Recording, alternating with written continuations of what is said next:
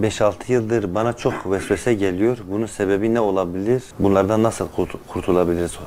Demiş efendim. Hocamızdan dua istiyoruz. Evet. İsmi üzerinde vesvese şeytandandır. Şeytan vesvese veriyor. İşi budur. İnsanın kalbine vesvese verir. Göksüne vesvese verir. Önce o vesveseden Allah'a sığınmak gerekir. Allah'a sığınmak demek, Ya Rabbi sana sığınıyorum demek değildir. Yetmez bu. Şeytanın verdiği vesvese karşısında, karşılığında mutlaka bir ayet vardır. Allah'ın bir emri, bir hükmü vardır. Bize düşen şeytanın verdiği vesveseyi değil, Rabbimizi, Rabbimizin vahyini dinlemektir. Bir müminin şeytan beni kandırıyor, ben şeytanın peşinden gidiyorum demesi yakışık alan bir durum değildir. Bu gerçekten yakışmıyor. Allah, şeytan sizin apaçık düşmanınızdır dedi mi? Dedi. Şeytana abd olmayın, bana abd olun. Sirat-i müstakim budur. Dedi mi? Dedi. Yani eğer biri şeytanın verdiği vesvesenin peşinden giderse, şeytana abd olursa, onun verdiği vesveseyi severse, onun peşinden giderse, bu durumda Allah'a abd olmamış, şeytana abd olmuş, sirat-i müstakimden de çıkmış demektir.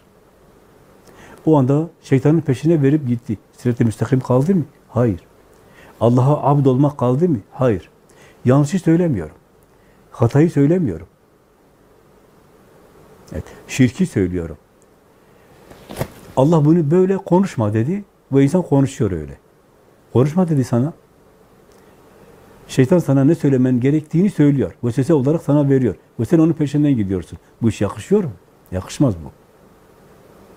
Onun için müminin ben şeytana uydum demesi doğru değildir. Yakışmıyor bu. Senin Allah'a itaat etmen lazım. Resulüne uyman lazım diye, tabi olman lazım diye. Resulünün yaptığı gibi yapman lazım diye.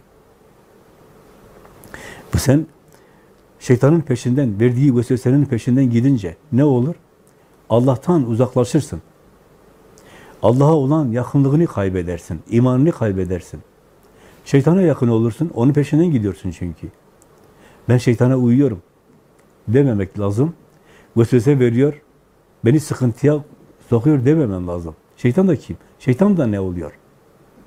Zaten onun bütün gücü sadece vesvese vermektir. İnsanlar da vesvese veriyor. Allah'ın doğru dediğine yanlış diyor, yanlış dediğine doğru diyor.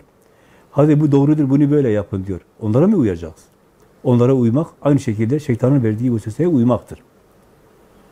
Eğer biri Allah'tan başka bir şeye davet ediyorsa, o da insanlardan olan şeytandır. Minel cinneti ve nas. O şeytanlar, vesvese veren şeytanlar, cinlerden de olur, insanlardan da olur dedi Allah. Evet, şeytan Allah'tan başka tarafa davet etmektir. Başka türlü düşündürendir. Başka türlü konuşturandır. Başka türlü yaptırandır. Evet. Mümin dik durur. Mümin bu. Mümin Rabbini tercih etmiş insan. Rabbinin vahyini tercih etmiş.